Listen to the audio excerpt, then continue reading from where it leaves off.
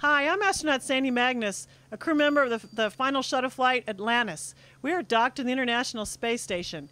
Since age 11, when I started playing soccer, I've been a big soccer fan, and here, high above the Earth, we're able to follow the progress of the FIFA Women's World Cup thanks to Mission Up Mission Control updating scores to us as they as they happen. Congratulations to all the teams who made the tournament, especially the two about to play in the final.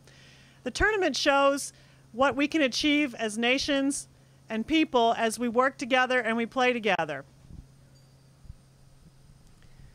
Hi, I'm Japanese astronaut Satoshi Furukawa of Expedition 28 aboard the International Space Station.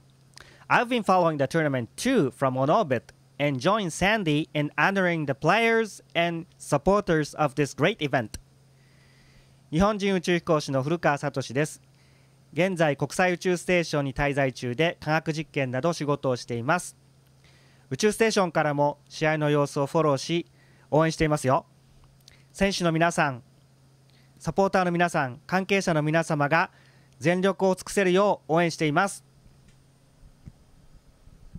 Now go USA!